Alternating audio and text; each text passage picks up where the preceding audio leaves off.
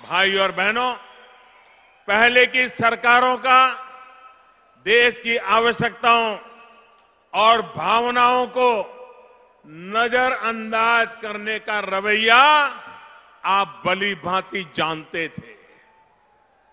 अब करतारपुर कॉरिडोर की बात ही ले लीजिए। अगर ध्यान गया होता तो आज हमारे गुरु नानक देव जी की भूमि हमारे देश में होती हिंदुस्तान का हिस्सा होती। इसी तरह पाकिस्तान, अफ़गानिस्तान और बांग्लादेश में ऐसे अनेक माँ भारती की संतानें हैं, जिनके साथ अत्याचार हुआ है। हमारे इन भाइयों बहनों की पीड़ा पर भी किसी ने ध्यान नहीं दिया। हम एक संकल्प के साथ नागरिकता कानून में संशोधन का प्रस्ताव लाए हैं।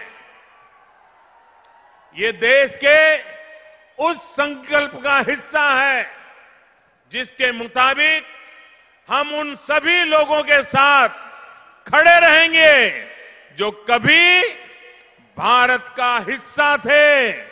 लेकिन 1947 में बनी परिस्थितियों के चलते हमसे अलग हो गए। अब अगर उनका आस्था के आधार पर शोषण होता है तो उनके साथ देश को खड़ा होना ज़रूरी है। इन सभी लोगों के हकों की रक्षा के लिए भारत हमेशा खड़ा रहेगा। न्याय और जीवन के उनके अधिकारों की रक्षा की जाएगी।